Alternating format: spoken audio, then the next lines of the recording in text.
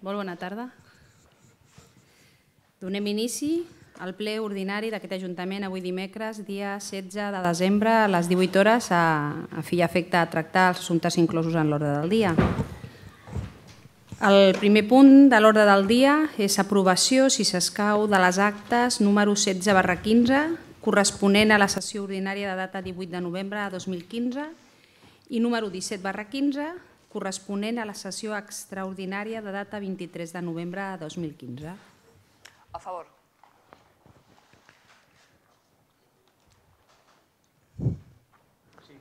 A favor. Voto a favor de l'acte corresponent al, a 16 barra 15, ja que a la, a la del 17 no hi vaig ser, vaig excusar l'assistència.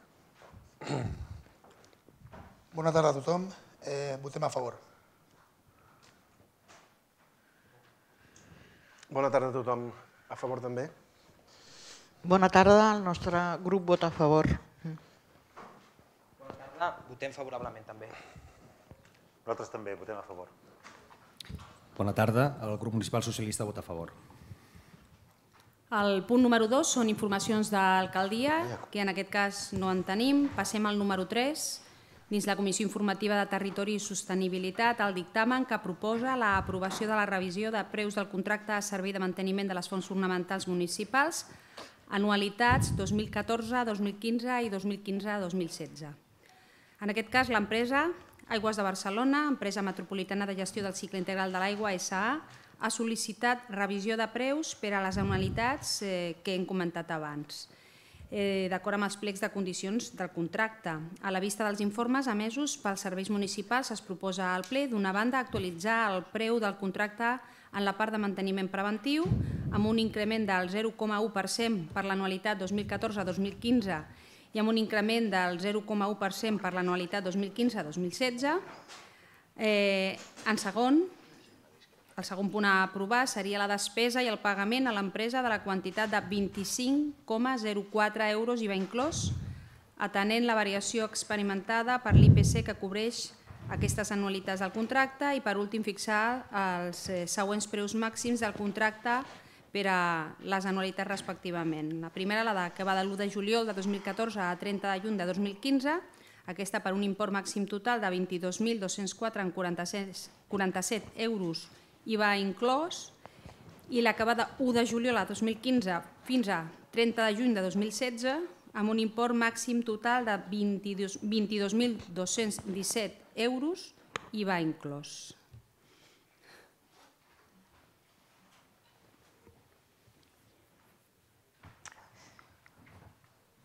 A favor.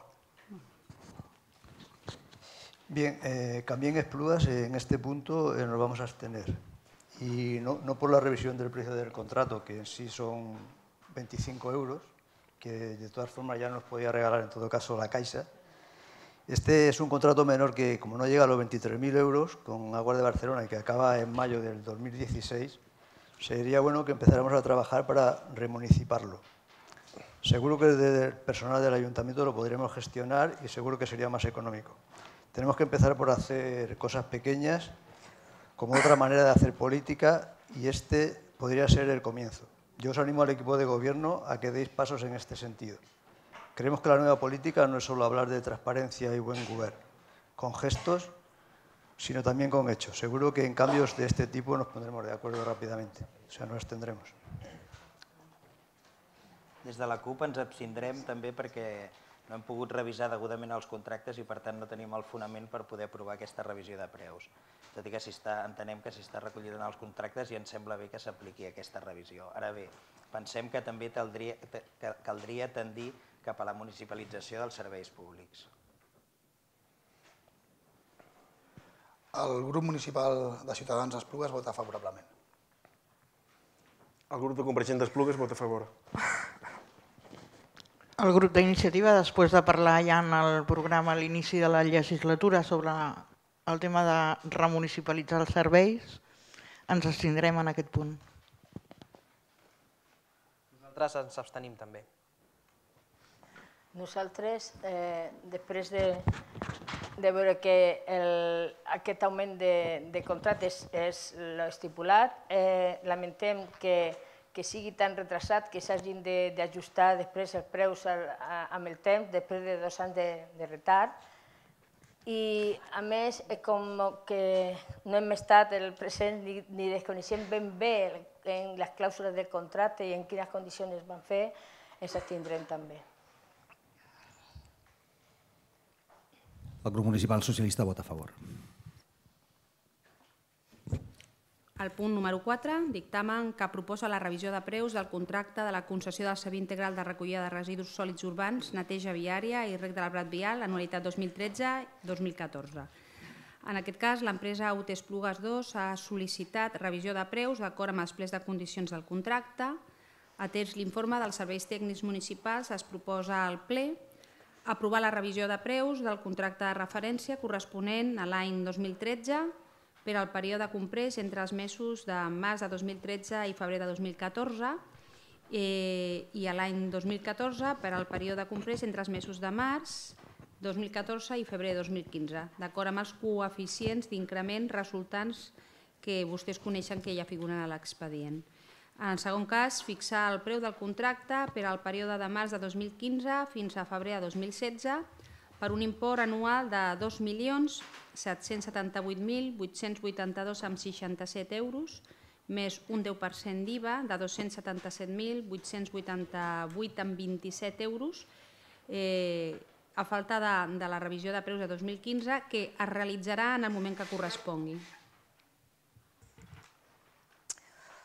Pues eh, a, mí me gustaría, a mí me gustaría haber visto eh, cuál es el contenido, si ello puede ser posible, el contenido del contrato que se realiza con, con la empresa adjudicataria.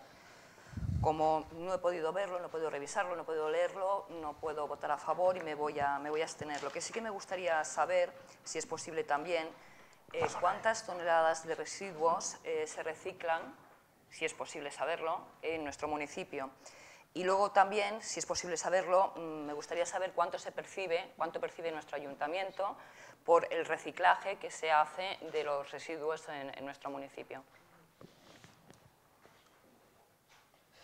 Sí, eh, también eh, como en el punto anterior, nos vamos a abstener.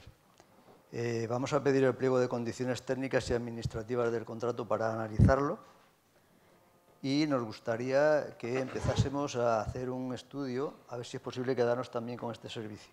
Este sería un reto más complicado que el anterior para el ayuntamiento, pero lo imposible creo que se, que se hizo para, para hacerlo posible.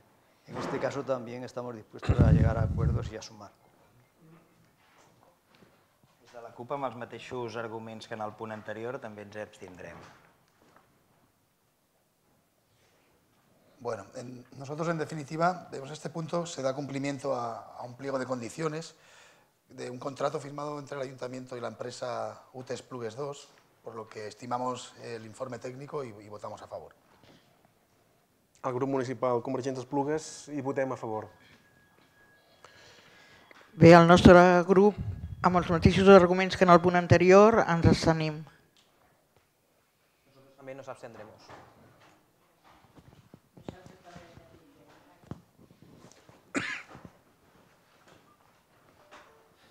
El grup municipal socialista vota a favor. El punt número 5 és el dictamen que proposa acceptar la renúncia a la concessió del quios de venda de diaris i revistes situat al Parc de l'Escorxador d'aquesta població. En aquest cas, la titular de la concessió del quios esmentat ha renunciat a aquesta concessió abans de finalitzar el termini de la mateixa, degut a les circumstàncies econòmiques actuals que li impossi- impossibiliten la realització de l'activitat i fa entrega del quiosc a l'Ajuntament perquè el destini a les finalitats que consideri convenients. Es proposa, per tant, al ple acceptar aquesta renúncia a la concessió del quiosc a favor de, de l'Ajuntament. Votamos a favor. Des de la CUP hi votem favorablement. El grup municipal de Ciutadans Esplugues vota a favor d'acceptar la renúncia de la concessió. El grup municipal de Convergents Esplugues també hi votem a favor. Sí, el nostre grup vota que sí. Popular, Partit Popular vota que sí. Nosaltres també votem que sí. El grup municipal socialista vota a favor.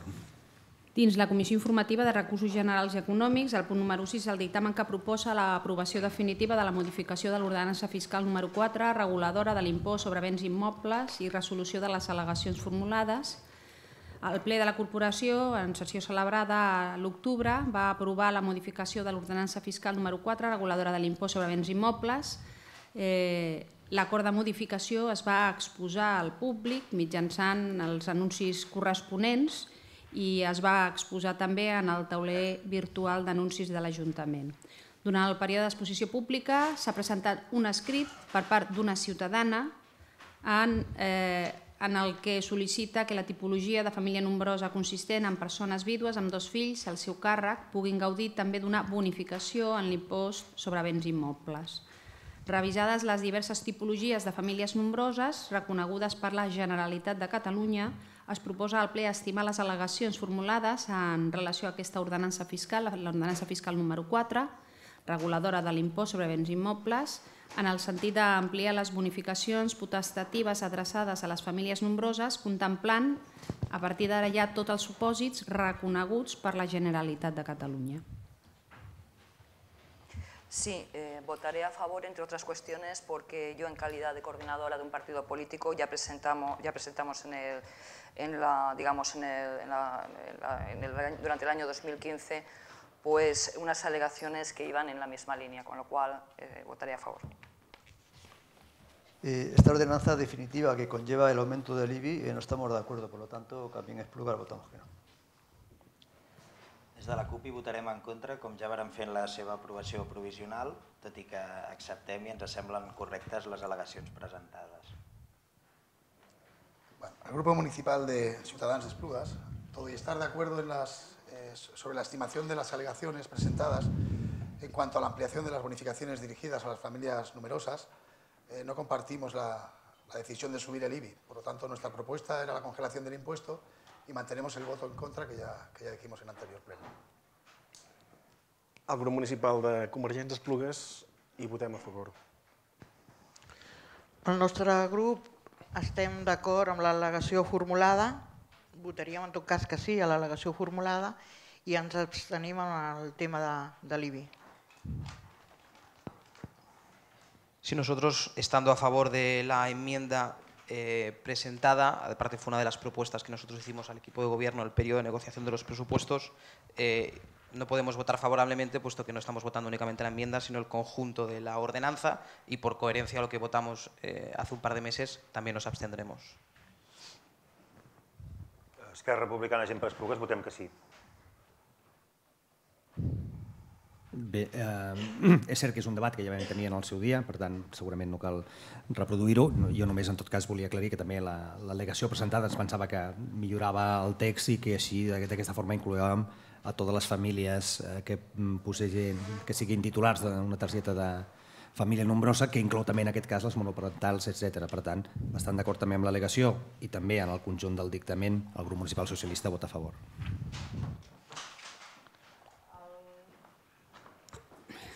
El punt número 7, el dictamen que proposa l'aprovació d'un expedient de reconeixement de crèdits. Eh, ara es proposa al ple reconèixer les obligacions derivades de nou factures que ascendeixen un total de 4.710,30 euros corresponent a despeses realitzades en els passats exercicis econòmics 2013 i 2014 i presentades en el registre municipal durant aquest exercici, l'exercici 2015. Eh, en totes les factures trameses figura explícitament la conformitat dels responsables en relació a la prestació d'obres, serveis o subministraments de què es tracta en cada cas concret. Dues d'elles són de 2013, set d'elles, les set restants són de, de 2014 i, i van donar totes les explicacions oportunes i recorden a la informativa. Abstención. Eh, también Espluga nos abstenemos. Ens, ens abstenim. Votem favorablement. I votem favorablement, també. Sí, nosaltres votem que sí. Abstenció. Votem que sí. Grup Municipal Socialista vota a favor. El punt número 8, dictamen que proposa el reconeixement de compatibilitat a un funcionari per a l'exercici d'una activitat de caràcter privat. En aquest cas es proposa al ple reconèixer a un funcionari de carrera adscrit a l'àmbit de planificació estratègica, la compatibilitat amb l'exercici d'activitats de formació i assessorament en matèria d'organització de les administracions locals, comprometent-se a no modificar la seva jornada laboral i horari de treball i a no participar en assumptes en els quals puguin resultar afectats interessos de l'Ajuntament d'Esplugues de Llobregat.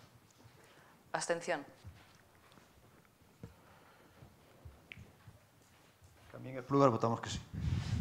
La CUP en aquest punt ens abstindrem perquè no hem pogut constatar jurídicament que es donen les condicions per poder reconèixer la compatibilitat.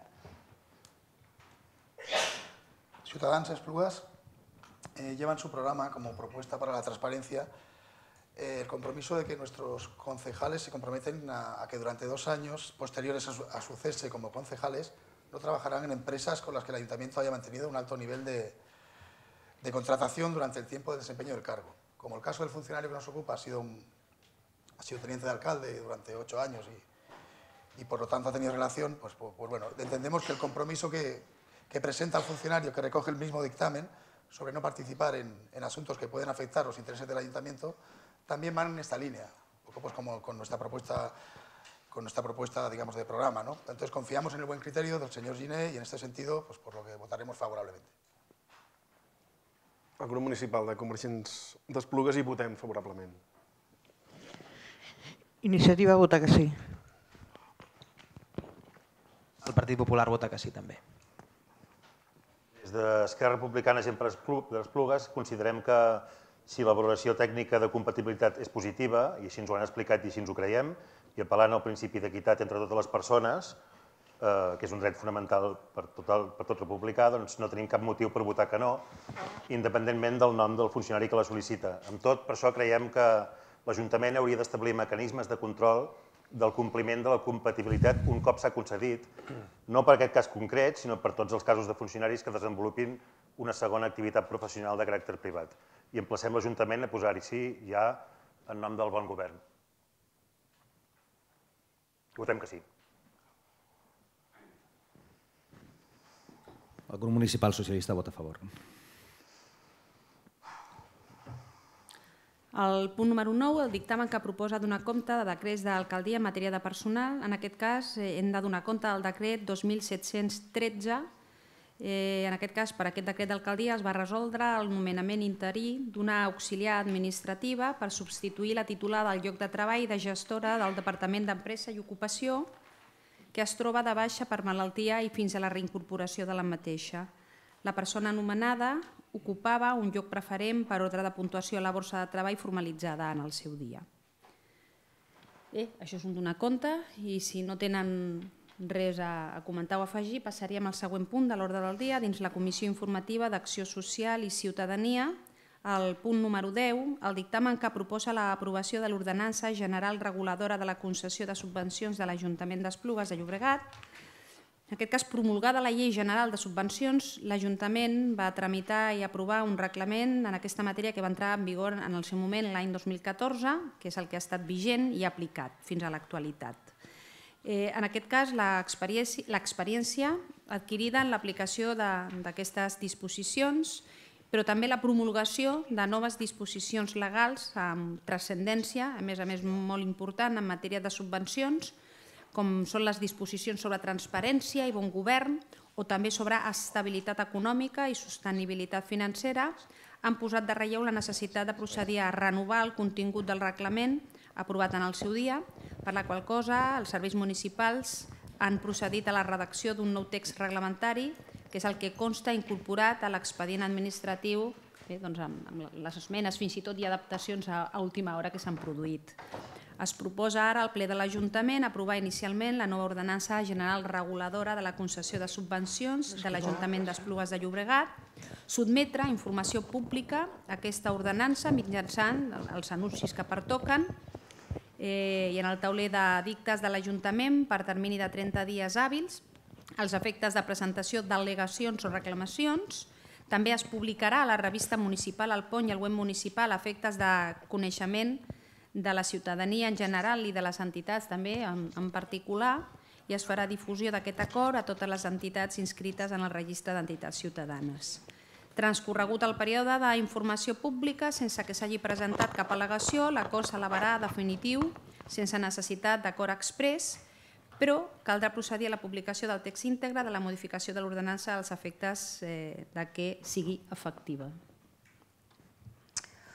Mm, votaré a favor. Eh, lo que sí que me, gustaría solicitar es a ver si es posible que para el próximo año, para el año 2016, eh, las concesión de las subvenciones que se dan a las entidades eh, y en un ejercicio de transparencia pudieran estar bien ubicadas en la página web, de tal forma que nuestros ciudadanos, al acceder a nuestra página web, a la página web del ayuntamiento, pudieran saber cuáles, eh, cuáles son las entidades a las que se les da las subvenciones, qué cantidad y qué motivo. ¿no? Entonces, pero de alguna forma que fuera clara, que fuera fácil de localizar.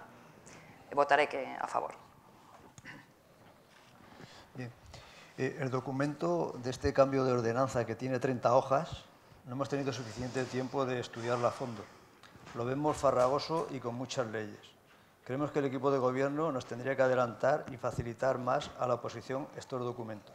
No, podemos ir siempre a un ritmo acelerado que a nuestro entender va en contra del consenso que estos cambios en las normativas deberían tener.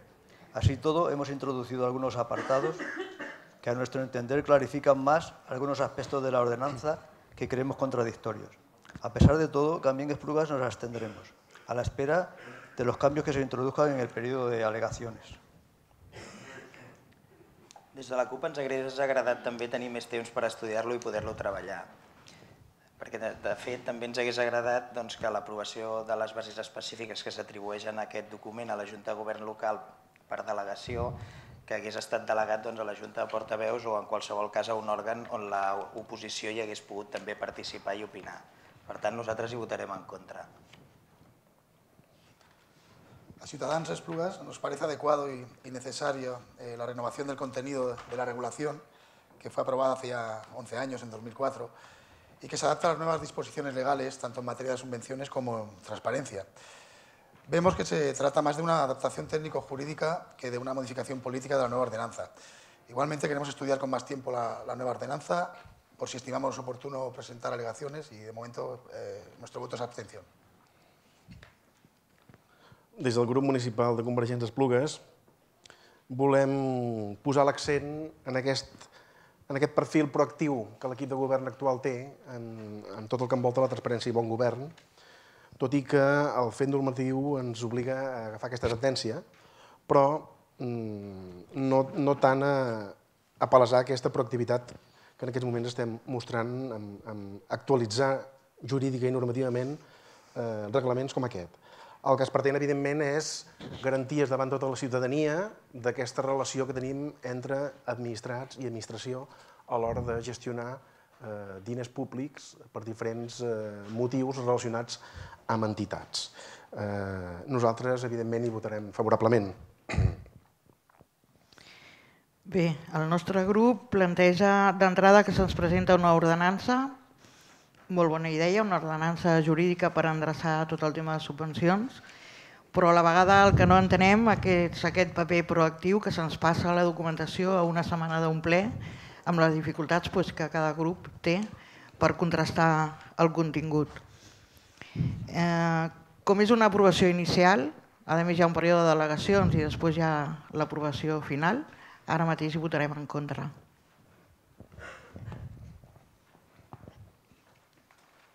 Tot i que només és a efectes tècnics, el Partit Popular s'abstindrà. Es tracta d'una mesura que entenem que ha d'anar encaminada a agilitzar l'administració i facilitar els tràmits de les entitats. Amb tot, nosaltres entenem que el model de subvencions actual s'hauria de revisar i hauria de tendir, de cara sobretot a les entitats més consolidades, a un sistema que generalitzés més els convenis plurianuals i que no obliguin cada entitat a pidular cada any la seva subvenció, i així poder donar estabilitat a l'acció que desenvolupa cada entitat. Malgrat això, entenem que aquesta mesura, com ja he dit, doncs ens sembla que és positiva d'entrada i estarem atents a la seva aplicació i concreció, sobretot, per avaluar-ne l'efectivitat. Per la qual cosa proposem que d'aquí un any, més o menys, si tothom li sembla bé, ens en tornem a parlar i entre tots decidim si ha anat bé o no i sobretot si les entitats, que són el subjecte més important d'aquesta mesura, doncs, doncs si s'hi han sentit còmodes o no s'hi han sentit còmodes. Per tot cas, nosaltres votem que sí.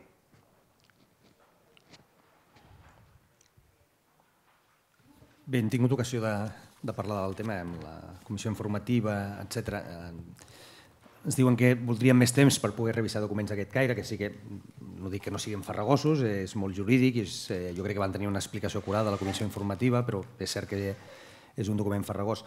Però també és veritat que una primera versió els hi vam fer arribar, no ara fa una setmana, sinó fa aproximadament tres setmanes, una primera versió els hi vam fer arribar i després bueno, hi ha hagut alguns canvis i la versió definitiva doncs, ha, ha trigat una, una mica més. No?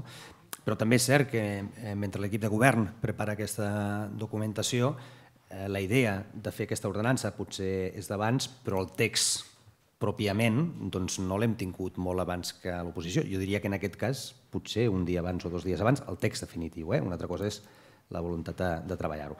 No, ho dic en, en el sentit de que les coses a vegades doncs, bueno, tenim el marge que tenim, però la redacció d'una ordenança no és una cosa senzilla no? i per tant requereix del seu temps i al final nosaltres tampoc no hem disposat del text definitiu, com deia, molt, molt abans.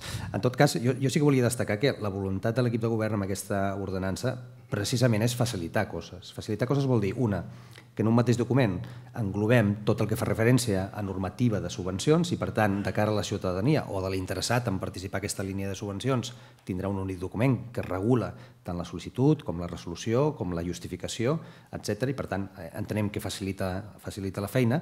També és veritat que estem parlant de tot tipus de subvencions que otorga l'Ajuntament, no només les dedicades a entitats o al foment de determinats programes, sinó incloem també les beques, que al final eh, és una ajuda a un tercer, en aquest cas una persona física, però és, és una ajuda a un tercer, o altres tipus de subvencions com les de suport als comerç o bueno, qualsevol altra subvenció que pugui otorgar l'Ajuntament. Per tant, ens, ens sembla que recull i que és una bona idea que estigui tot recollit en el mateix document. Però a banda d'això, eh, el fet de que tenir això en l'ordenança ens permet també que després puguem fer diferents convocatòries de subvencions en cada moment, segons el que pensem que pugui ser més oportú de cara a les entitats, per exemple, o de programes determinats que pensem que és més interessant treure'ls en un moment o un altre. Ho dic a diferència fins del que veníem fent fins ara. Ara aprovàvem en un cop la, totes les convocatòries i, i ja està, i no hi havia més convocatòries. No? Eh, ara el que pretenem és que si s'escau doncs puguem fer més d'una convocatòria d'un mateix programa i entenem que això facilita gestió a les entitats però també resolució a l'Ajuntament. El fet de no fer-les totes alhora eh, sobretot administrativament, doncs li permet a l'Ajuntament que de forma esglaonada sigui més fàcil la resolució tant de l'adjudicació la, de les subvencions com la seva justificació. Per tant, aquesta és la voluntat, ja que primer, primer document, pràcticament, jo diria que gairebé en exclusivitat, el que fa és recollir allò que ja diu la normativa eh, en base a subvencions i recollir-ho, com deia, en un mateix, en un mateix document. Per tant, entenem, com us deia, que, que és un benefici, malgrat que, com deia el grup d'Esquerra Republicana, doncs, eh, és una ordenança que sempre es podria modificar i, per tant, si s'escau, en el moment oportú es podria tornar a parlar d'ella i si hi ha algun element que no funciona, doncs, evidentment, corregir-lo, eh? no faltaria més. El grup municipal socialista vota a favor. El punt 11, dictamen que proposa la pròrroga i modificació del conveni amb la Fundació Privada Esproceat Pro Esplugues per a la integració sociolaboral de persones amb discapacitat. En data 1 d'agost de 2011, l'Ajuntament d'Esplugues i la Fundació Privada Proa van subscriure un conveni per a la realització d'un projecte d'integració sociolaboral de persones amb discapacitat psíquica mitjançant el manteniment de les zones verdes. Mitjançant diferents acords plenaris s'han anat introduint canvis i els darrers l'acord plenari de data 20 de juliol de 2011 on es van introduir eh, nous canvis, en aquest cas en concret es van incorporar tasques de consergeria i de destrucció de documentació, definint diferents preus unitaris per cadascuna d'aquestes dues categories. Bé, doncs, eh, a tota aquesta suma eh, de tasques encarregades mitjançant aquests convenis. Eh, l'actual conveni té vigència fins a 31 de desembre de 2015 i en data 5 de novembre de 2015 el director de la Fundació sol·licita la pròrroga del conveni, la qual és informada favorablement per diferents tècnics municipals eh, revisat vistos els informes emesos pel Servei de Manteniment i Espai Públic, pel coordinador de la Unitat Tècnica de Serveis Subalterns i per la coordinadora tècnica de l'Arxiu Municipal. Eh, de fet, en aquest últim informe s'esmenta que actualment només es fan tasques de destrucció de documents, proposant d'una banda que s'elimini del conveni el concepte de transport i d'una altra banda que s'inclogui dins les tasques de destrucció de documentació la de separació de, de plàstic i d'altre material, I bé, en, resi, en resum, en atenció a la voluntat municipal d'afavorir la integració del col·lectiu de persones que treballen dins la Fundació, es proposa al ple de l'Ajuntament prorrogar fins al 31 de desembre de 2016 el conveni actual, modificant aquests aspectes que hem comentat en aquesta exposició i establint que la subvenció per al període comprès entre 1 de gener de 2016 i 31 de desembre de 2016 eh, serà de 148.721 amb 17 euros més 31.231 amb 44 euros en concepte d'IVA. D'acord? Bueno, jo crec que el desglossament no cal que el faci perquè també el coneixen i si tenen interès el faria, però la, la, la quantitat global és la que acabo d'esmentar. A favor. Eh, Canvien Espluga, votem a favor. La CUP hi votem a favor. Ciutadans Esplugues vota favorablement. El grup municipal de Convergents Esplugues hi votem a favor. Sí, el nostre grup també hi votem a favor i reconèixer la feina que està fent Esproseat en millorar el servei de, de proa. El Partit Popular també hi vota favorablement. Votem que sí. Grup Municipal Socialista vota a favor. Dins l'apartat de mocions, la moció del grup municipal, la 29 barra 15, moció del grup municipal de Canvi Masplugàs, de l'Ajuntament d'Esplugues de Llobregat contra l'homofòbia, la transfòbia i l'assetjament escolar al col·lectiu LGBTI. Sí. Sí, exacte. És el senyor Carrasco que ara té la paraula per presentar aquesta moció.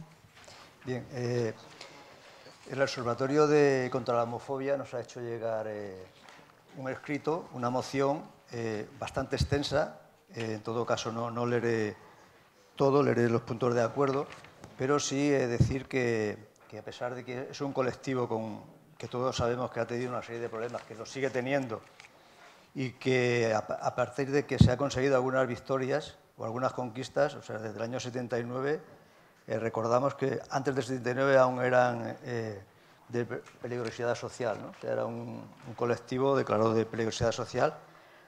En el 2005 eh, ya eh, pueden, tienen acceso al matrimonio y en el 2014 en el Parlamento de Cataluña se aprueba una nueva ley que todavía en estos momentos pues, está empezando a arrancar. ¿no? Por lo tanto, quiero decir que este colectivo aún sigue siendo discriminado, todavía sigue el acoso a, a los niños y adolescentes y su situación todavía no está normalizada. ¿no? Por lo tanto, eh, cuando nos han hecho llegar a esta moción, pues hemos creído interesante de que en, en Espluga se aprobase. Voy a dar eh, lectura, en todo caso, a la adopción de los siguientes acuerdos al Pleno Municipal. Eh, primero, condenar públicamente y rechazar toda forma de homofobia y transfobia. La homofobia y la transfobia son una aversión obsesiva, colectiva y social que tiene importantes consecuencias e implicaciones destructivas que se traducen en discriminación, rechazo y violencia y dañan la convivencia en nuestra ciudad. Declarar Esplugas de Llobregat libre de homofobia y transfobia. Punto segundo. Adherirse a la festividad del 28 de junio, Día por la Liberación Lésbico, Gay, Bisexual, Transsexual e Intersexual, poniendo en un lugar visible del Ayuntamiento la bandera con los colores del arco iris y apoyando la movilización de este día promovida por los colectivos en defensa de la libertad sexual. Tercero, facilitar a través de los servicios municipales oportunos un servicio de atención a las víctimas. Cuarto, elaboración de un protocolo de denuncia y de un protocolo de actuaciones en caso de agresiones y discriminaciones. Quinto, facilitar la manera de denunciar los casos de acoso sufridos por las personas afectadas. Apoyar a las víctimas y dar a conocer a la población cómo evitar y denunciar el bullying. Sexto, con motivo de la conmemoración del día 28 de junio, ubicar en un espacio visible de la página principal de la web municipal un enlace a la web elaborada por el Observatorio contra la Homofobia, destinado a la denuncia de las agresiones de tipo homofóbico y transfóbico, y promocionar este servicio a través de los medios de comunicación municipales, los centros educativos y los equipamientos municipales. Séptimo, hacer seguimiento a través del área de participación, derechos civiles y calidad democrática de las denuncias que lleguen mediante este servicio prestado por el, por el Observatorio contra la Homofobia, mantener contactos periódicos de valoración del servicio con el Observatorio. Octavo, programar de manera coordinada con el Observatorio contra la Homofobia y las entidades, charlas y seminarios especializados sobre el acoso escolar. Noveno, colaborar con los centros de estudio en la realización de actividades educativas dirigidas al alumnado para informar y asesorar y orientar desde una óptica coeducadora sobre la salud sexual y reproductiva a la diversidad. Décimo, instar a la, a de Cataluña a colaborar con los centros de estudio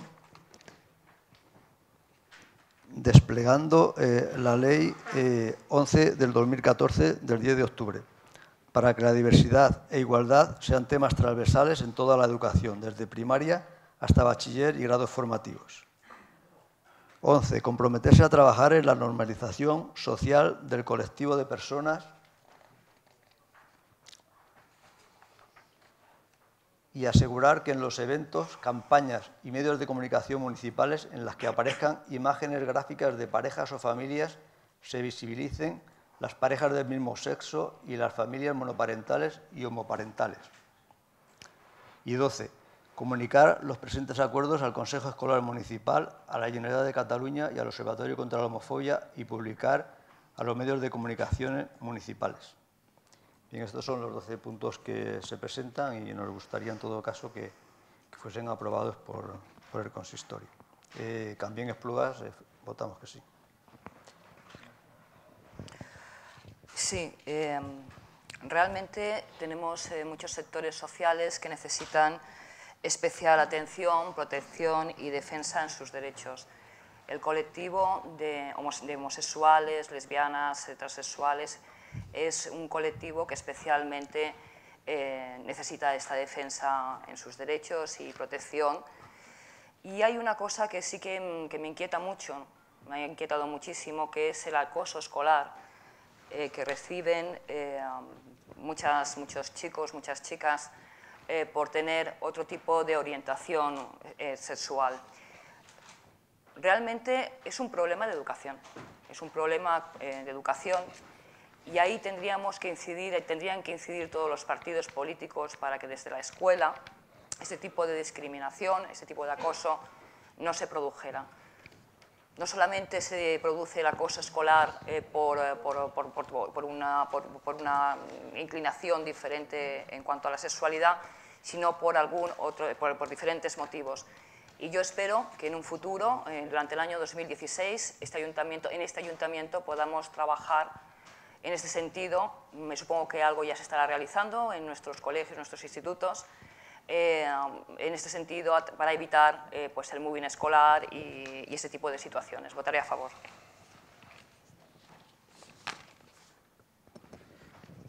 Des de la CUP pensem que s'han retallat algunes coses respecte de la versió original que es va presentar. Pensem que haguéssim mantingut l'adhesió la, a les tres diades eh, i, i a més a més també eh, un tema important com és el tema de la formació dels treballadors i treballadores municipals, en especialment el de la Guàrdia Urbana. També pensem que cal la figura d'educadors socials en els centres escolars per tal de treballar aquests temes d'assetjament entre molts altres malgrat tot, el, el, i, i felicitem la, la, la portar aquesta, aquesta moció al ple i votem favorablement. El Grupo Municipal de Ciudadanos Esplugas eh, vota a favor de esta moción, que en, que en definitiva lo que supone es garantizar los derechos de lesbianas, gays, bisexuales, transgéneros, intersexuales, y para que se erradique totalmente de nuestra sociedad pues, la homofobia, la bifobia y la transfobia. Nuestro voto és favorable. Nosaltres pensem que som molt lluny encara d'una normalitat eh, en referència a la quotidianitat d'aquests col·lectius i tot i disposar d'una llei a Catalunya, la llei del 14, de 2014, per protegir-los, és insuficient. I aleshores, doncs, eh, queda molt clar i molt palès, com en qüestions molt semblants, que és una qüestió de tots i de totes, i és una qüestió de tota la societat en general. Sobretot, sobretot per protegir els més febles, que són els joves, també, eh, en, aquests, en aquests col·lectius. Eh, L'Observatori ens ho denuncia i ens ho recorda, amb aquestes 380 denúncies anuals, i amb, amb una bona colla de famílies i de, i de professorats a les escoles que sovint ignoren el que està succeint. Eh? Som incapaços, no tenim mecanismes per detectar-ho, no, estem prou formats per detectar-ho, i mentre això succeeixi vol dir que hi hem de, hi hem d'esmerçar esforços i hem de buscar altres solucions més eficaces. Nosaltres, el grup municipal de Convergents Esplugues, evidentment hi votarem a favor. Bé, el nostre grup votarà que sí i tot, tot i que hem de dir que alguna cosa s'ha fet a nivell municipal. Per exemple, el tema de les banderes, que posa com... És un tema que heu anat sentint que hem anat insistint per comprar-la, però de fet ja es posava, que la posava alguna veïna. No? Però bueno, que ha, tot i sabent que hi ha coses a la moció que es fan, mm, creiem que s'ha d'insistir en el tema i votarem que sí. Nosotros, desde el Grupo Municipal del Partido Popular, agradecer en primer lugar al Observatorio contra la Homofobia la presentación de, de este texto y lamentar que en el año 2015 tengamos que estar debatiendo sobre esto. ¿no? Es, una, es una pena que, que, tengamos que estar debatiendo y votando esta moción cuando en una democracia normal y avanzada pues estas cosas no tendrían que pasar. Eh, obviamente votaremos a favor y, y haremos todo lo posible en la medida de nuestras posibilidades como ayuntamiento para revertir esta situación. Nosaltres pensem també que és una llàstima que a finals del 2015 encara haguem d'aprovar mocions com aquesta. A nosaltres ens sembla evidentíssim que la discriminació que encara pateix actualment el col·lectiu LGTBI és una xacra social i que l'orientació i la identitat sexual de cada persona formen part de la intimitat de cadascú, igual que els sentiments, les creences, les idees i les religions, i que en cap cas poden ser motiu de discriminació. No deixarem mai de treballar en aquesta direcció i estem convençuts que algun dia, en el futur, esperem que no gaire llunyà, els ciutadans d'aquest país es posaran les mans al cap quan, quan repassaran les hemeroteques i veuran que el 2015 encara s'aprovaven mocions com aquesta. Votarem que sí.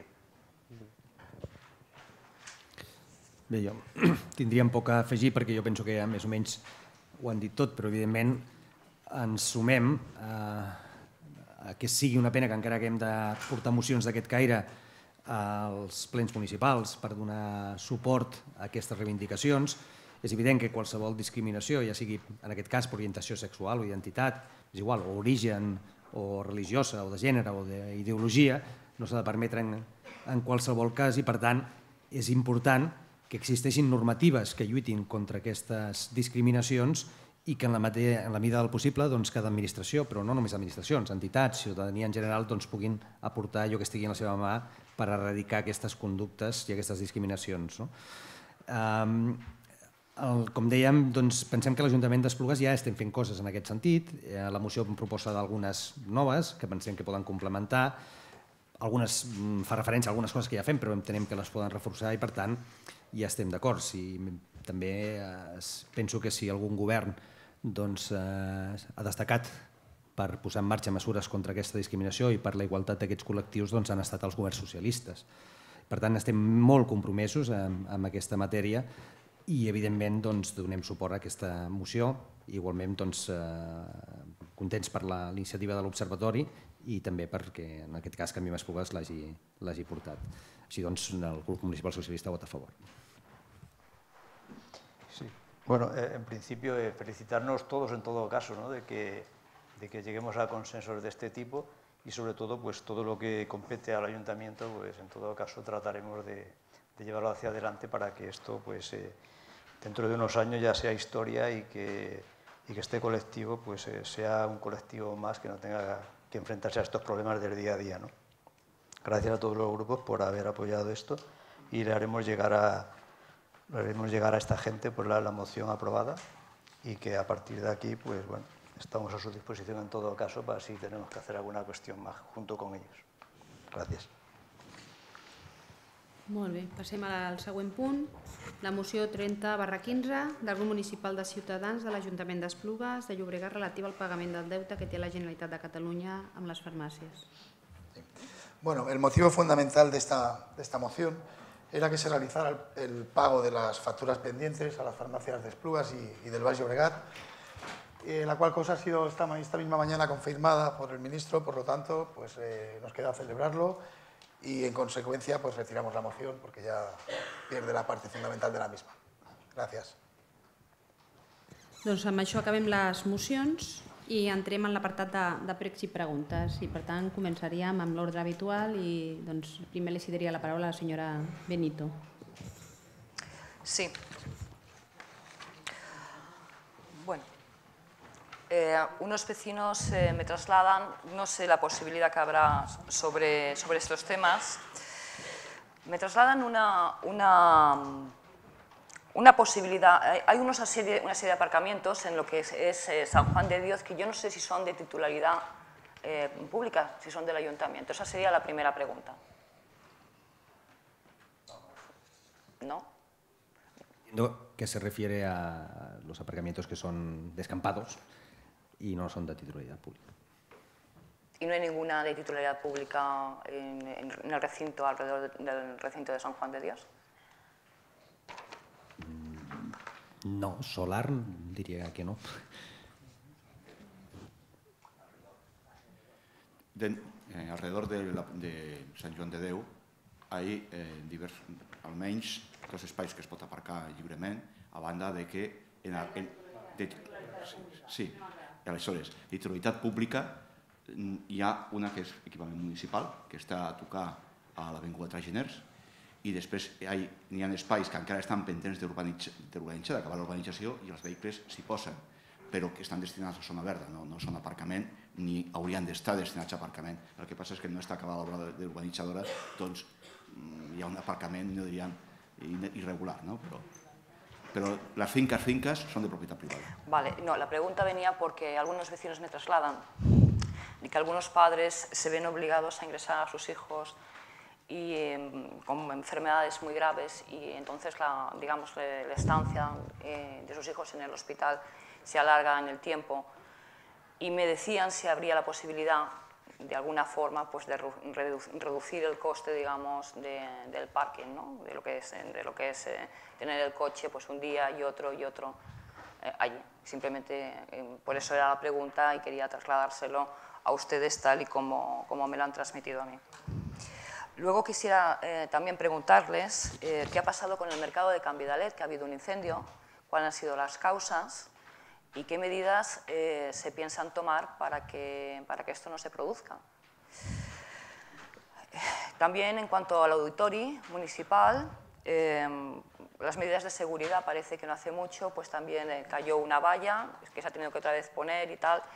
Bueno, algunos eh, vecinos me comentan que consideran que las medidas de seguridad que hay actualmente pues, eh, no serían suficientes.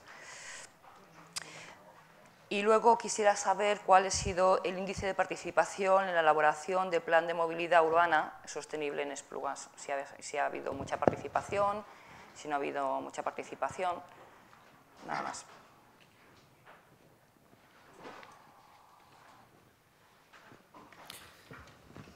sobre la reducció del cost del preu del pàrquing de Sant Joan de Déu no és una competència municipal perquè nosaltres no gestionem aquest pàrquing, eh? és de l'hospital.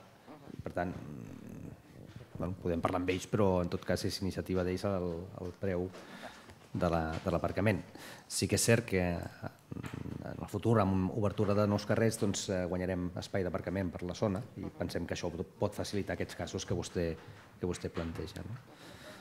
Sobre l'incendi del mercat de Can Vidalet les causes van ser més aviat vandalisme i en tot cas les mesures de seguretat estan implementades. Una altra cosa és que, eh, tot i que és un espai tancat, delimitat i es veu perfectament que no es pot accedir, doncs algú amb mala fe, perquè no puc dir una altra cosa, doncs pugui entrar a fer alguna cosa, eh? però en principi eh, les mesures estan posades. Ha aquests accidents, jo diria així, o alguns amb mala fe, però bueno, que es poden produir tot i així nosaltres entenem que les mesures que hi han són prous com per entendre que aquell espai està tancat i que no es pot, eh, no es pot entrar. Eh? Les mesures de seguretat de l'auditori doncs, eh, precisament és un espai que nosaltres anem revisant molt freqüentment en aquest sentit, tant per la part de l'obra que està construïda, que té un seguiment habitual eh, per evitar, o, o per en tot cas tenir constància de si hi ha moviments, eh, i, i això ho fem habitualment, i per lo que significa el perímetre del voltant, doncs anem, anem controlant. En tot cas, si s'ha detectat algun espai que, o potser alguna tanca que ha caigut o el que sigui, ho revisarem perquè si s'escau, doncs evidentment eh, renovarem el tancat o farem el que calgui perquè estigui en les condicions que ha d'estar. De l'índex de participació del PAMUS no tenim dades encara oficials diguem-ne, eh, del conjunt perquè estem recollint la informació però la veritat és que entre els diferents mètodes de participació que hi ha hagut en, en, en aquest, doncs, déu nhi les propostes que han arribat, eh? però en tot cas li felicitarem quan, quan tinguem totes aquelles propostes que han arribat i pels diferents canals que han arribat. Gràcies.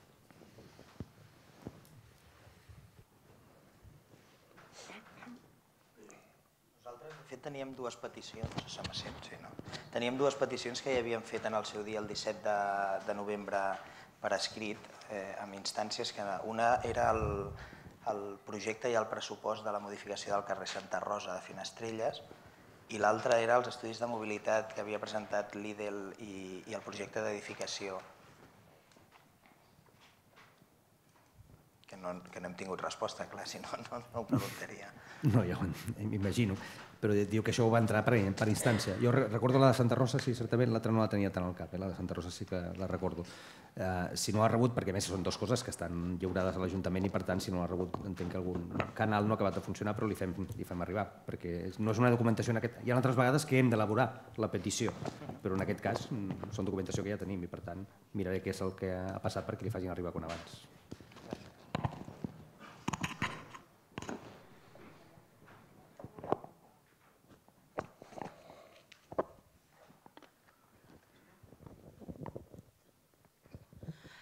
Sí, un parell de coses.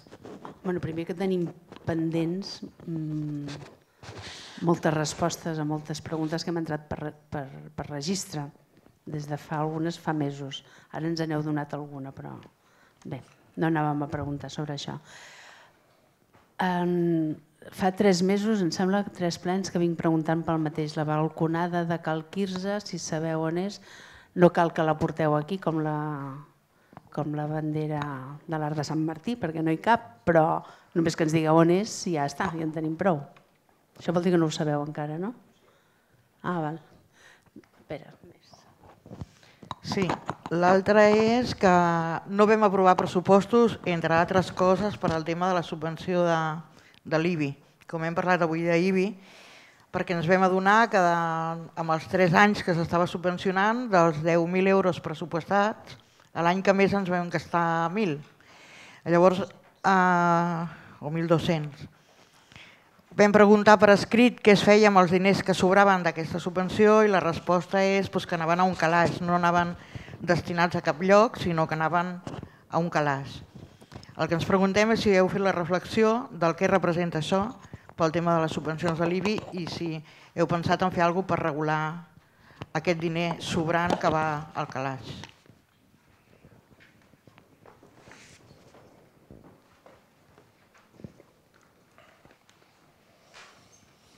de... Bueno, feia referència que falten algunes respostes i algunes que sí que s'havien d'elaborar. Bueno, jo, jo, jo he vist respostes a moltes ja, el que passa que és veritat que hi havia un seguit d'instàncies, de moltes preguntes. Una d'elles s'havia d'acabar d'elaborar algun, alguna documentació perquè algunes no són senzilles i jo crec que tinc al cap més aviat aquestes, les d'elaboració. Altres jo bueno, les he vist, eh, les propostes de resposta, i per tant entenc que... Ara han arribat que, que algunes deuen tenir, les que falten, sí, sóc conscient que falten, eh? algunes, no, sí. no dic que estiguin totes. Sobre la balconada de Calcir, de Calquirse, eh, amb la llicència que es va otorgar, doncs, eh, ja s'establia que eh, en aquest cas les construccions Polido eren qui s'havien de fer càrrec del manteniment custòdia eh, del balcó. Nosaltres estem en contacte eh, amb ells perquè també el que s'establia és com, o, o s'havia de fer una proposta d'aquest eh, el balcó i algun altre element com revertia de nou a l'Ajuntament i on es proposava mantenir, col·locar, etc. I per tant estem en converses amb ells per veure com ho gestionem, Però això. El TEN. Sí, sí, sí, sí, en principi sí. Sobre les subvencions de l'IBI, jo en el seu dia ja li vaig comentar que um, en tot cas era podia ser algo eh, revisable si no es feia la, o no, no es consumia la partida destinada a, en aquest sentit. No? La veritat és que no, no hem estudiat encara si hem de revisar o no. El fet de que els diners que mm, en aquesta subvenció o com en altres partides eh, no s'esgoten vagin a la caixa única doncs és quelcom habitual, no en aquest cas. Eh? En altres partides, quan no s'esgoten, doncs, bueno, els diners queden allà restants per altres, per altres serveis o altres usos que puguin anar vinculats en, en funció de la funció de la partida, precisament, valgui la redundància, que puguin dedicar-se a altres, altres elements. No? jo crec que són dues coses, una on van els diners restants i una altra que es pugui fer una revisió eh, de, del concepte o, de la, o dels barems eh, de, de l'IBI, que això jo, jo dic que ho podíem valorar. Que no plantegem que es llencin, plantegem que es revisi les subvencions de l'IBI. Això, com que ha dit dues coses, dic que una cosa és la revisió i una altra cosa és què es fa amb els diners que resten.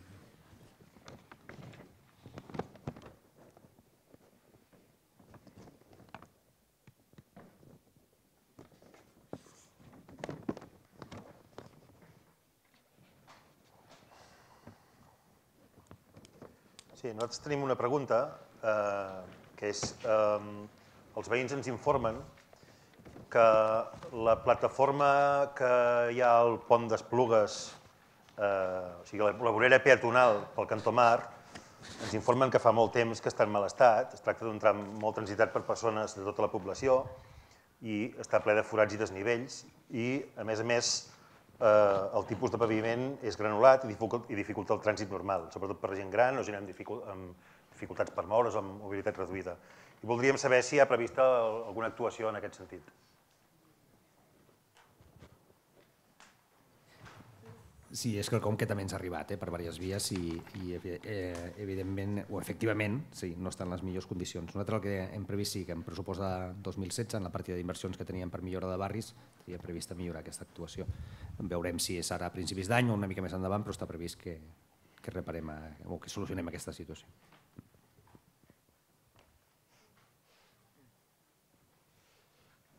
Molt bé, doncs amb això donem per acabada aquesta part de, de pres i preguntes. També acomiadem el senyor interventor, el senyor secretari. I passaríem a les preguntes formulades per la ciutadania, començant per aquelles formulades de manera escrita, perquè en tenim dos que van entrar per registre. Sí, una de les preguntes de la senyora Maria Jesús Sinfreu diu quines tasques fa actualment el gerent de l'Ajuntament d'Esplugues que facin necessari el seu treball? Quants anys enrere aquest càrrec no existia? Doncs actualment no hi ha gerent de, de l'Ajuntament, per tant no hi ha tasques associades. I pel que fa anys enrere, la figura del gerent es va nomenar per primera vegada el 18 de juny del 1991 i ha estat el 29 de juliol del 2015 quan ha desaparegut aquesta figura. Després hi ha una altra pregunta del senyor Raimundo García que diu les multes, cuando son desproporcionadamente altas respecto a la infracción cometida, resultan injustas y confiscatorias. Aquí en Esplugas las tarifas de la zona verde son muy diferentes, como es lógico, para los residentes, 20 céntimos al, día, y un no residente, un euro a la hora. ¿Me puede alguien explicar entonces cómo es que la multa por olvidarse de poner el ticket de 90 eurazos es idéntica para residentes y no residentes?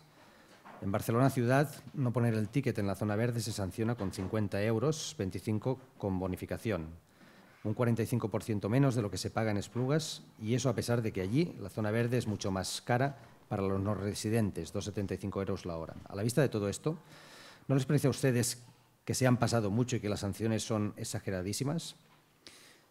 Bien, eh, la sanción eh, que equivale a un aparcamiento inadecuado es una sanción de tráfico, no es una sanción eh, únicamente que dependa del ayuntamiento, sino que se, se recoge en el texto refundido de la Ley de Tráfico sobre tráfico, circulación de vehículos a motor y seguridad vial.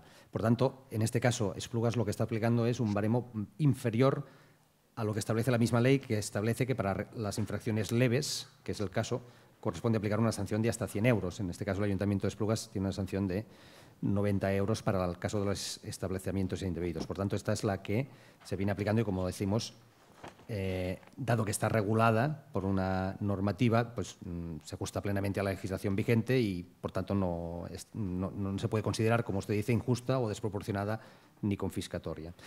Y en cuanto a la comparación que usted indica sobre el Ayuntamiento de Barcelona, lo único que podemos decirle es que, eh, consultando la regulación que tiene el Ayuntamiento de Barcelona y en su página web consta que las sanciones eh, de ese tipo serán de 100 euros. Yo no sé si el dato que ha ofrecido usted está contrastado desde otro punto de vista, pero en todo caso lo que recoge la normativa del Ayuntamiento de Barcelona es que esa sanción corresponde a 100 euros.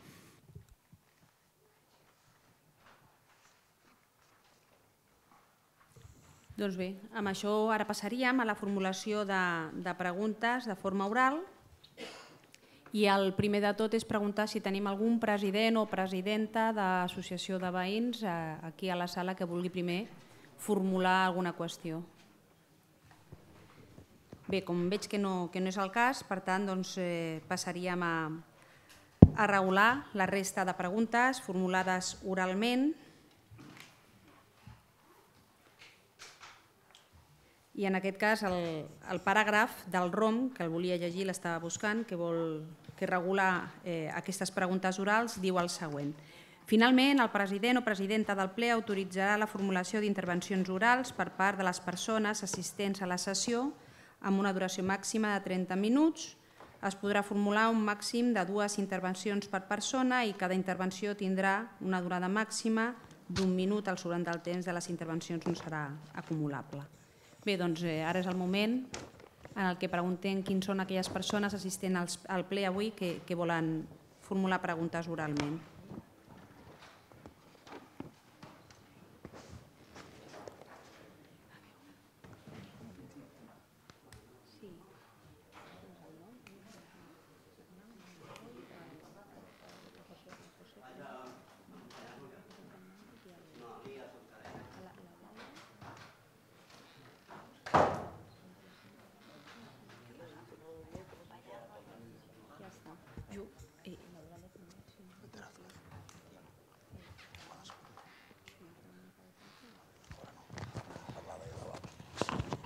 Com sempre llegirem els noms, no sigui que en un moment donat ens hagin deixat algun dels noms. Eh... Sí. sí. Eh, el senyor Fernández, el senyor Asensio, Asensio, la senyora Herranza, la senyora Coy i el senyor eh, Andreu Feliu Badaló. No l'he dit? Bueno, he dit el senyor Andreu Feliu Badaló perquè he dit tots els cognoms, però doncs, el Llofre, l'Anna, l'Eulàlia, el Santi i el José. Si us agrada més. Senyora Auró, no l'havia vist, perdoni. No, és que aquí us demana ara o ja no, si ens esperem, perdó, hem perdut el torn. Vol parlar? Ah, doncs no. Sí, sí, ja la deixem pel final si vol. al señor José Fernández.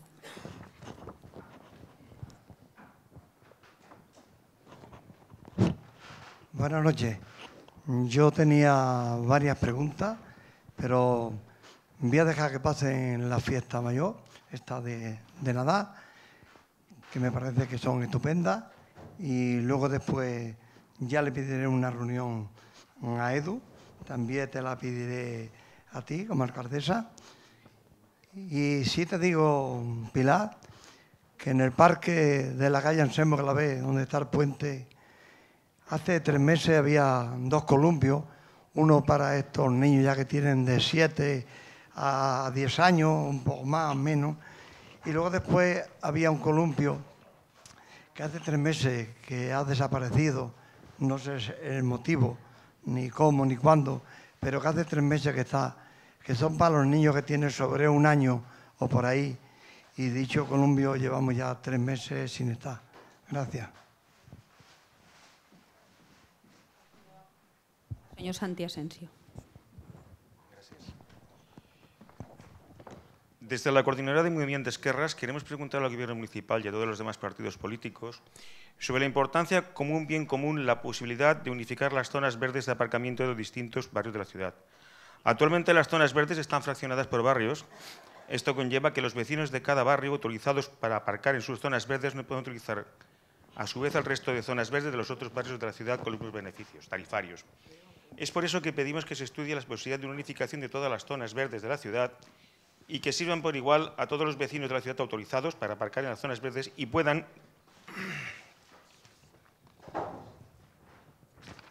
hacerlo en ellas indistintamente, sea del barrio que sea, con los mismos beneficios tarifarios. Por otro lado, tenemos la convicción de que este ajuste en las zonas verdes beneficiará e impulsaría el comercio local en gran manera.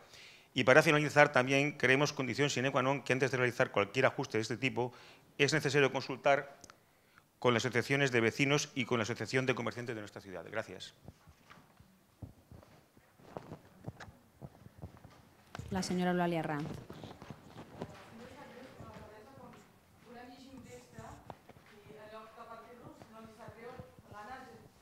Servir els meus dos minuts.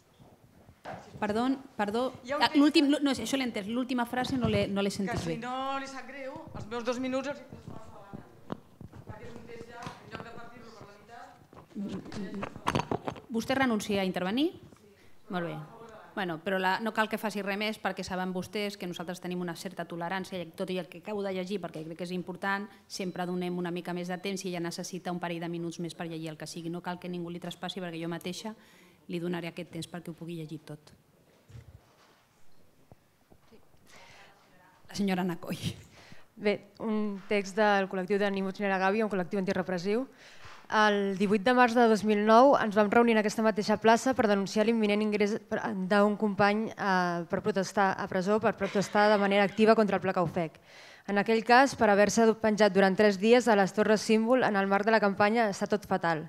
Aquell dia, igual que avui, denunciàvem i denunciem la mala gestió d'aquest conflicte per part de l'Ajuntament. Un Ajuntament que ha donat llum verda a la destrucció de la falda de Collse- de Collserola per engrandar els beneficis especuladors de Sacresa en aquell moment i d'algunes entitats bancàries, entre altres propietaris actualment. Un Ajuntament que des de l'inici s'ha negat a consultar al poble la seva opinió sobre l'aprovació d'aquest megaprojecte. Tot el contrari, ho ha intentat aprovar de la forma més silenciosa i opaca possible i ha repri- ha reprimit eh, durament a totes aquelles veus que han informat i opinat al respecte.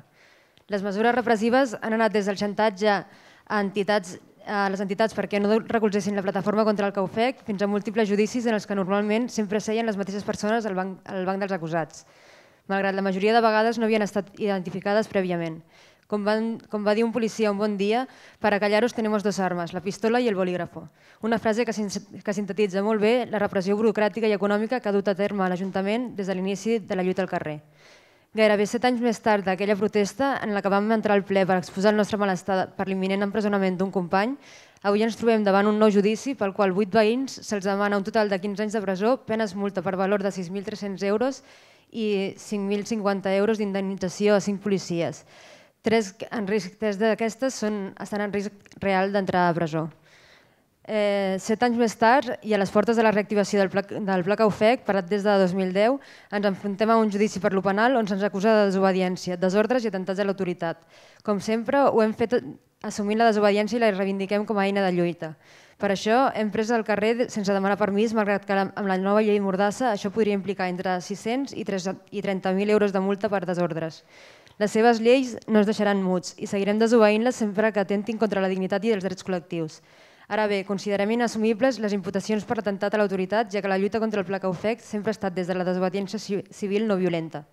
Si avui estem aquí és per remarcar la lectura política d'aquest judici, per assenyalar els culpables d'aquesta mala gestió del conflicte que avui, sigui dit de passada, segueixen venent el poble al millor postor. Des de Nimuts ni a la Gàbia denunciem l'evident finalitat repressiva d'aquest judici que casualment o no coincideix amb la immi- imminent reactivació del pla CAUFEC. Sembla que encara no han entès que durant la seva repressió nosaltres teixim solidaritat i que tal com es va demostrar en l'anterior judici, no tan sols no ens van callar, sinó que ens van fer més fortes. Algunes hem tingut la desgràcia de créixer en un poble en el que la majoria absolutista del PSC ha imposat la dictadura, la dictadura del totxo i el caciquisme i la sort de viure en una oposició al carrer eh, crítica, activa i compromesa. Una oposició que ens ha permès entendre amb nitidesa la diferència entre legalitat i legitimitat. I des del convenciment de la nostra lluita és totalment legítima, seguirem defensant la dignitat col·lectiva, desobeint sempre que calgui les seves lleis. Gràcies a totes per ser-hi i no ens quedarem ni muts ni a la gàbia. Molt bé.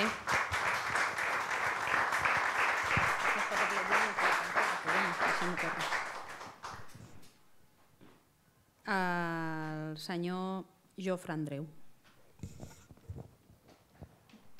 Jo soc una d'aquestes vuit persones que, que el 8 i 19 de gener ens enfrontem a un judici. No cal, no cal, tinc prou de veu, encara no m'ha Si vols crido més. Ah, si millor que no, així no ho podran utilitzar contra meva. Eh, la jugada quina és? Un, dos, un, dos, se sent? La jugada quina és? Que no vull parlar aquí ni de pla Caufec, ni de ni Mutja la Gàbia, ni de res d'així. Jo vull parlar d'algun una mica més preocupant. Aquí fora tenim tot de policies, del cos de Mossos d'Esquadra i de la policia local, que aquest, el dia 8 de març del 2009, la policia local, concretament, va ser qui, després d'haver entrat al ple i d'haver passat el que hagués passat aquell dia, que aquí no entrarem a jutjar-ho perquè no cal, ja ho hem parlat més d'un cop, el jutge ja ho jutjarà, però la policia local va fer un atestat, és la seva feina. fan un atestat i posen els noms de cinc persones que presumptament els han pagat, presumptament els han agredit i presumptament han trencat moltes coses. De 150, només 5 persones amb molta claretat i molt detall i tres més, que no sabem per què, eh, també els van identificar, però ningú els hi va demanar el carnet, ni ningú van, van dir, oye, tú dame el carnet, que presumptament tu has cometido un delito, i, i això. Al cap d'uns anys rebem unes citacions, un procés judicial obert i com sabeu tots, hem dit i hem explicat, doncs ens enfrontem a, a un judici per lo penal, és a dir, possibilitat d'entrar a presó per haver agredit, s'ha suposat, a uns policies, tot basat en la seva eh, presumpció de veracitat, amb el seu escrit que van fer amb el seu atestat, i això a mi em fa pensar una cosa, em fa generar certs dubtes. Per què només aquelles persones i no totes? Per què no cal identificar-los? Per què se'ls atribueix tants actes? Per què va ser tan greu tot el que va passar en aquell ple i només aquelles persones són les responsables d'aquells fets? La justícia està feta així i així va, ens porten al judici, per sort tindrem un judici, està guai, un jutge imparcial, haurà de dictaminar si els policies tenen raó o nosaltres tenim raó. I aquí comença la reflexió i és, estem parlant del 2009, estem al 2015, portes del 2016. Hem passat un periple en el qual veiem al final del túnel la possibilitat d'entrar a presó o no. Hem de gastar diners amb advocats, hem de gastar moltes llàgrimes perquè poder entrem a presó. Hem de dubtar de si tenir fills o no perquè el nostre fill ens haurà d'anar a visitar a la presó. Hem de dubtar si val la pena de tots els actes que hem fet, si han sigut tan greus o no, si és legítim o no protestar sense violència, a cara descoberta, dient, parlant, mai hem fet mal a ningú, i ho sabeu, mai hem fet mal a ningú. Hem tingut el rifirrafes, sí, però mai hem fet mal a ningú. Però tot i això anem a un judici i tenim la por, però la por no ens fa callar. Però aquí no ve la reflexió. Ens enfrontarem al judici, com sempre ho hem fet, amb la cara alta, sense negar el que hem fet, hem desobeït, sempre, ho hem dit, davant d'un jutge, hem assumit les penes que els, que els jutges ens han dictaminat, fins i tot amb ingressos de presó, hem assumit tot el que sempre ens han dit, però no assumirem atemptats a l'autoritat mai, perquè mai hem pagat a ningú. Però el drama no està aquí. El drama és que aquells policies que aquell dia van fer l'atestat policial i van decidir que cinc persones entre 150 eren les responsables de tot és més que les seves ganes de fer-nos patir. Espero que ningú li passi mai, mai, el que estem passant nosaltres, les nostres famílies, només pel fet de defensar allò que és just només per defensar de maneres no violentes. Per tant, doncs faríem, quan acabi la senyora Auró, el torn habitual. Senyora Auró, té la paraula. Sí, al voltant d'aquesta reflexió m'ha vingut al cap la justícia.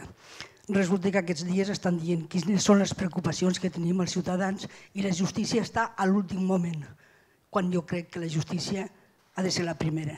Soc dels que pensen que sense justícia no hi haurà pau i de nhi la quantitat d'agressivitat que actualment tenim en aquest món. La quantitat de, de males coses. Ho sento, perquè aquests nens se'n poden. Avui, una altra dona a Saragossa s'ha afegit a la llista. I què? Tenim lleis i què? I la justícia? Quan actua? Em contava una dona l'altre dia de que van a, a la Guàrdia Urbana a, deman, a dir de que el seu home li havia pegat, acompanyada de la seva dona. Ni puto caso, i perdó per la paraula. I res.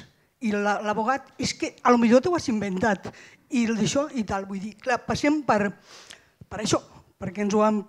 amb, coses d'enquestes així. Crec de que no. Primer, abans que res, molt bé, molt bé, educació. Educació primer de tot, per poder fer moltes coses. Però la justícia abans que res Si no hi ha justícia, no hi haurà pau en aquest món. Això, a les trobades que tinc a vegades amb gent cristians de base, els que som raretes, que dic jo, sempre ho dic. Eh? Alguns diuen que no, que primer pau perquè hi hagi justícia. Jo penso que no. Si no tens, sope, si no tens pa no podràs fer sopes. Aquesta és la, la meva impressió. Avui tenia preparades una sèrie de coses. M'agradaria saber, per exemple, això que ha demanat la, la senyora de, de Ciutadans, ara es va per libre, eh, quan se produirà, perquè estic molt interessada en la qüestió del, de com podem caminar per aquestes voreres d'Esplugues. Déu-n'hi-do, Esplugues com està, al mig de tot també encara pots anar a molts puestos, però jo em trobo en molts impediments al moment de que vaig per aquest poble meu. Que no és meu, però me l'estimo. Perdó. Eh, després, eh, avui a Barcelona han dit que eh, s'ha produït 200 habitatges de, del Sareb passaran a ser fons de la base aquesta. I una de les coses que més m'ha agradat és que no seran totes en un mateix edifici en el qual se creen guetos, sinó que estan, estiran repartits per tot el poble. Potser que comencéssim a treballar també per aquí, en certa manera. No? Gràcies. I mm, més coses també, però ho deixaré perquè avui eh, me pueden les coses. Gràcies. Gràcies, senyora Auró. Doncs eh, fem això, comencem amb la senyora Benito. Ah, la, la pregunta que ens han fet... Sí, el, és la pregunta que ha formulat el senyor Asensio de, la, de les zones verdes. De la, sí, de la, de la unificació.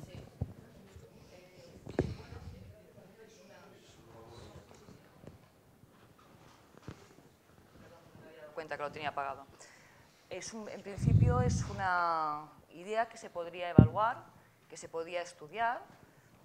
A mí de partida no me parece negativa, bien, bien, bien estudiada y bien delimitada lo que se pretende, inclusive puede ser positiva, porque inclusive a lo mejor pueden estar interesados eh, pues, eh, las opciones de comercio, pero lo que sí que me gustaría comentarle, señor Asensio, es que es importante lo que usted ha dicho al final, ¿no? que haya un consenso, que sean los vecinos eh, los que digan y tengan la última palabra a través de las opciones vecinales, a través de los propios vecinos y, y, el propio, y la propia unión de botigués, ¿no? que, que, digan cómo ven su propuesta.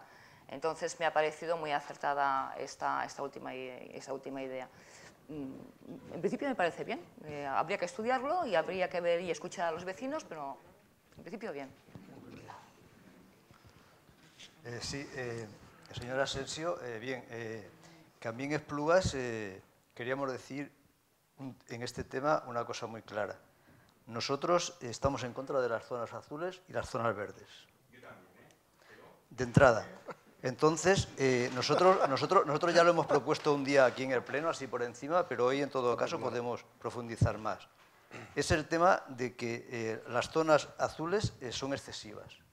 Entendemos que tiene que haber una serie de, sitios como la Plaza del Ayuntamiento, el juzgado, el ambulatorio, que haya que hacer zonas azules, el San Joan de Deu, que por cierto están todas las zonas azules siempre vacías, si pasáis por allí por la mañana lo veréis, eh, yo creo que aquello es excesivo, por lo tanto están allí vacías y los coches tienen que ir a aparcar al campo allá, ¿no? a, a dar saltos al campo, ¿no? como a las cabras. Entonces, eh, eso en cuanto a las zonas azules. Y las zonas verdes, esto se puede subsanar de una manera fácil. Eh, hay que hacer un distintivo para cada coche de esplugas y ese distintivo que ya lo están haciendo en algunos pueblos, que cuesta 3 euros el distintivo, y con ese distintivo puedes aparcar en cualquier sitio del, de, del barrio, de, de cada barrio. Entonces, ¿qué quiere decir? Que tú en el momento que tengas el distintivo puedes ir a Cambidaleo, puedes ir al centro, puedes ir donde, creas conveniente. Porque la idea, en algunos barrios que se ha puesto la zona, azul, la zona verde, era porque nos invadían de otras zonas, ¿no? De Hospitalet en este caso, para la zona de, de Cambidale. Bueno, pues si el problema es que nos invadían, y si lo que decimos es que las zonas verdes o las zonas azules no son para recaudar dinero, entonces pongamos la pegatina y ya cuando nos invada alguien de otro barrio que no tenga la pegatina, que lo multe quien sea. Por lo tanto, con eso quiero decir que por poco dinero podíamos solucionar el problema y ya está. Así lo vemos. des de la CUP en el seu dia també ja ens vam posicionar referent a les zones verdes quan es va fer una pregunta similar a la que s'havia fet avui. També pensem que caldria aparcament gratuït i no haver de pagar per això.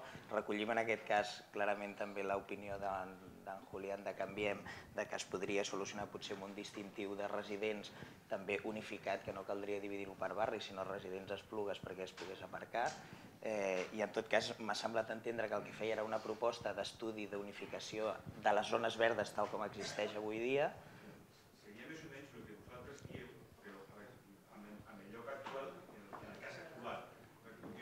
És que, per, perdona, eh, el ROM és això, es fan les preguntes i contestem, que no podem entrar en un debat, jo ho sento molt. Però jo crec que s'ha entès la pregunta. Sí, sí, no, no, ja, per això deia que en tot cas jo crec que el que deia era tal com està ara, proposava un, que féssim un estudi per veure com es podria unificar i quins beneficis tindria tant pel, pels veïns i veïnes com pel propi comerç. En tot cas, recollim aquesta proposta, farem aquest estudi i, i li traslladarem o, o contestarem en un altre ple. Bueno, señor Asensio, buenas tardes. Desde Ciudadanos, eh, pues hombre, eh, lo, que, lo que decimos que obviamente estamos en minoría, para que se pueda estudiar o analizar esta propuesta, que nos parece interesante. Sí que entendemos que, es, verdad, como, usted manifestaba, que el consenso para que sea duradera eh, debería ser lo, máximo, lo más integral posible ¿no? entre ciudadanos, la Unión de Botigués, el máximo grupo de, partidos políticos.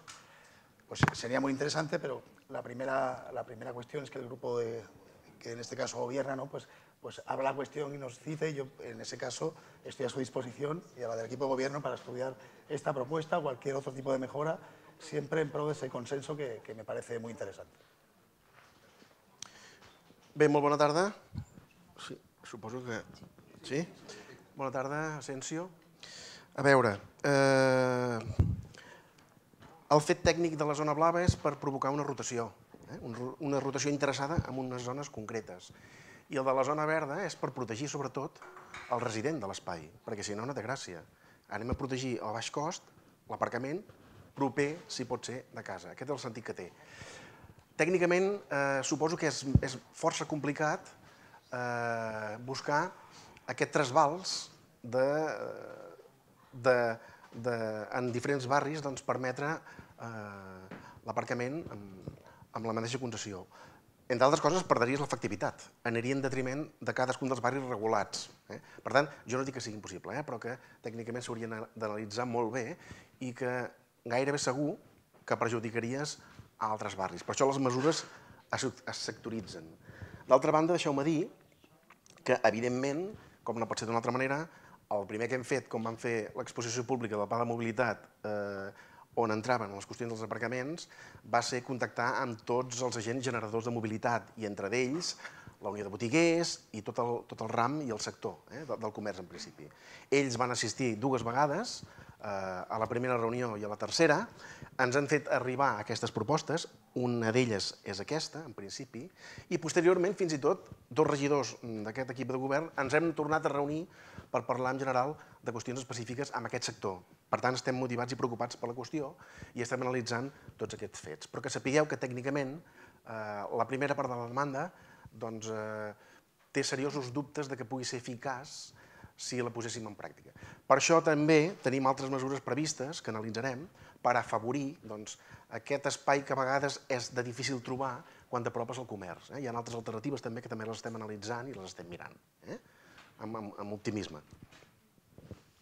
Bé, nosaltres, bueno, passant de l'opció de si volem o no zones verdes o blaves, que això és una opció, ara creiem que amb la posició que tenim implantejable, per tant seria fer volar coloms, darem a la realitat. Hi ha zones verdes i zones blaves. El que tu planteges no és una, una idea nova perquè crec que s'ha plantejat i no sé si es va plantejar a Progeser i a més es va discutir. Per tant, no és una proposta nova que la, que el que tingués tiquet de zona verda pogués anar a tots els barris on hi haguessin zona verda. Quin és un dels problemes que nosaltres veiem? Pues que els veïns de la plana no tindran opció d'aparcar cap zona verda a cap altre barri, perquè com allà no hi ha zones verda, no hi ha, no hi ha ningú té el distintiu. Per tant, aquí sí que estaríem, mm, crec que és un treball molt més sèrio. O ens plantegem treure-ho tot, que no serà, o ens plantegem com pot ser equitativa una mesura d'aquest tipus, perquè hi haurà veïns que no tindran aquest benefici.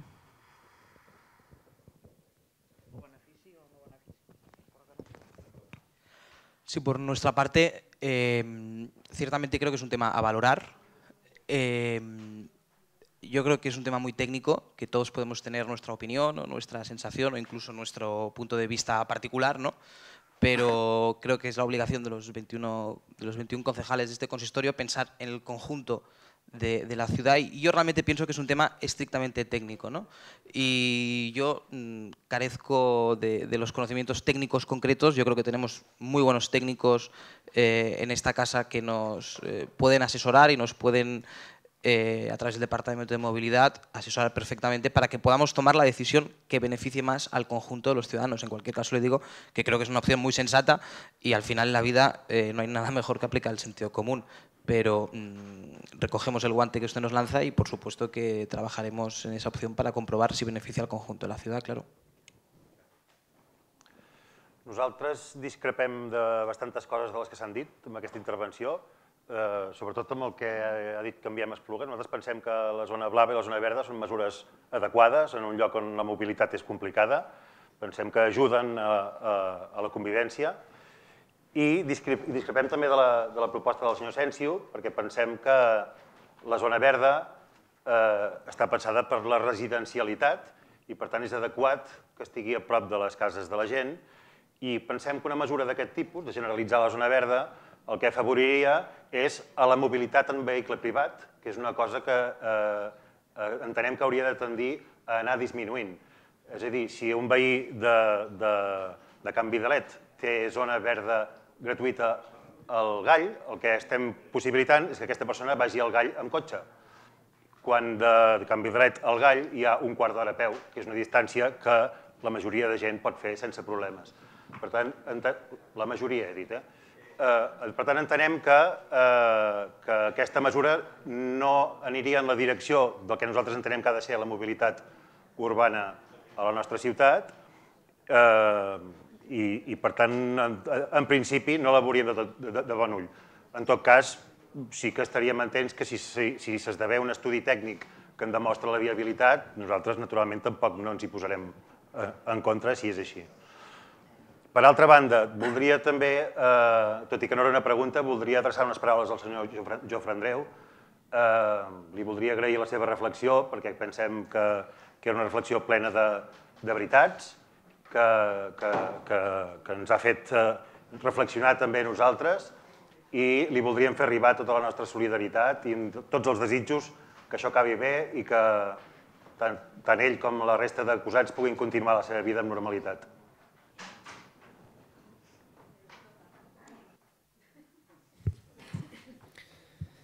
Sobre la pregunta que feia el senyor Santi Asensio, jo crec que hi ha diferents portaveus que ja han posat arguments sobre la taula, especialment en tot cas també el regidor de mobilitat, doncs Santi Siquier. Estem elaborant el pla de mobilitat urbana que de fet recull mesures que van per, eh, en aquest sentit, no? per afavorir en general eh, la, la mobilitat i també s'atén en el cas de l'aparcament i el cas de la, del, del moviment, dels moviments en, en vehicle privat però sí, probablement van per altres vies o altres camins. De fet, eh, el fet d'unificar les zones verdes jo, ho podem estudiar, eh? Vull dir, penso que es, es pot estudiar i, i podríem afrontar-ho. Però sí que hi ha dos arguments, un que de moment no? que es veuen molt obvis, un que és que la senyora Lídia Ibáñez ho deia, que no tots els ciutadans es podrien beneficiar perquè ara mateix no tenim zones verdes a tota la població, i un altre que també s'ha posat de relleu, que és que el que estem fent afavorir la mobilitat, com deia el senyor Torres, en vehicle privat dintre de la ciutat d'Esplugues, dintre de la ciutat d'Esplugues, la qual cosa mm, pensem que no és la millor opció no? en aquest sentit.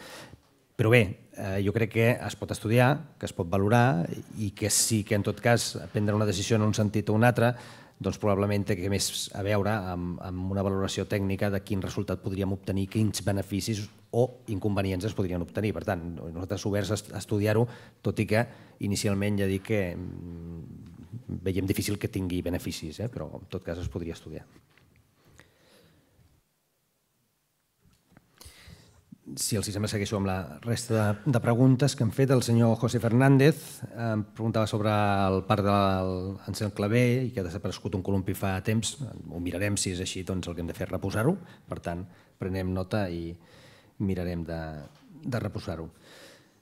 L'Anna Coll feia una lectura d'un manifest i el senyor Jofre Andreu, jo Eh, el que li voldria dir, perquè entenc que també ha fet una, una reflexió sobre la, la situació de vostè i d'altres persones eh, encausades en aquest judici, Um, bueno, jo simplement li diria que en tot cas aquest Ajuntament en cap moment ha posat una denúncia o, o ha acusat a, a ningú, ni, ni forma part no?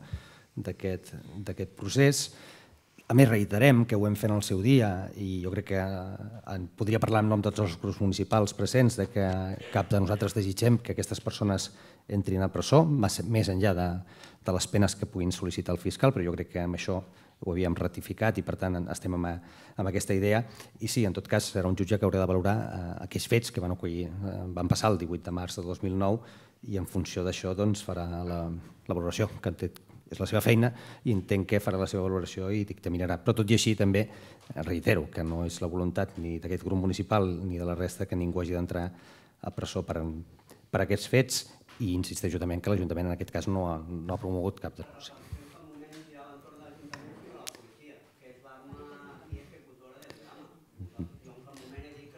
Ah, T'has referit a l'Ajuntament, però en tot cas sobre la, sobre la policia local eh, sempre hem dit el mateix. Nosaltres a, a la policia local o a la resta de treballadors municipals no els hi donem indicacions per fer la seva feina. Eh? Però bueno, no, no, no entrem en un debat, jo simplement volia deixar, deixar clar per això. Mm. Mm.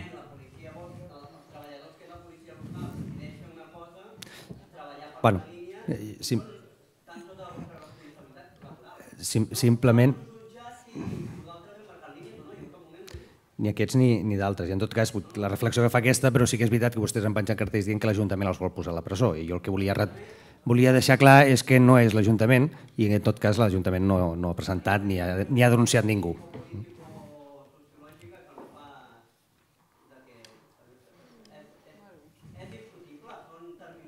Va. Jo, Fran, he deixat el senyor Santi i, i ja està. Va.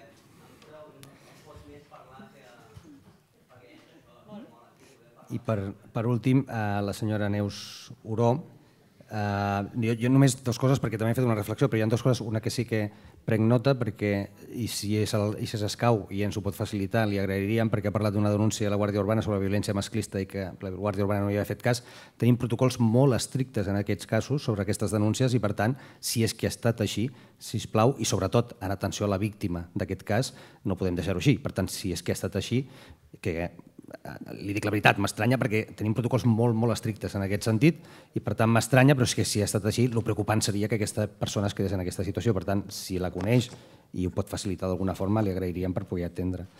I després, eh, sobre les voreres d'Esplugues, bueno, eh, anirem millorant i ja fer referència a un en concret que hem plantejat avui. I sobre els habitatges de la Sareb, només com a dada, perquè dic que a Barcelona hi havia 200, Esplugues no sé si és proporcional o no, que hauria de fer els números, però en tot cas, Esplugues de, de la Sareb en disposem de sis habitatges, eh? sis habitatges de, de, la, de la Sareb que estan ja a disposició de famílies amb lloguer social. Doncs amb això em sembla que hem contestat totes les preguntes que s'han formulat en, en el ple i, per tant, abans d'aixecar la sessió, desitjant que tinguin unes bones festes, que tinguin una bona entrada d'any, que més sigui un any doncs, eh, on tothom a Esplugues pugui viure amb molta dignitat. De manera que amb tot això, amb aquest desig, s'aixeca la sessió.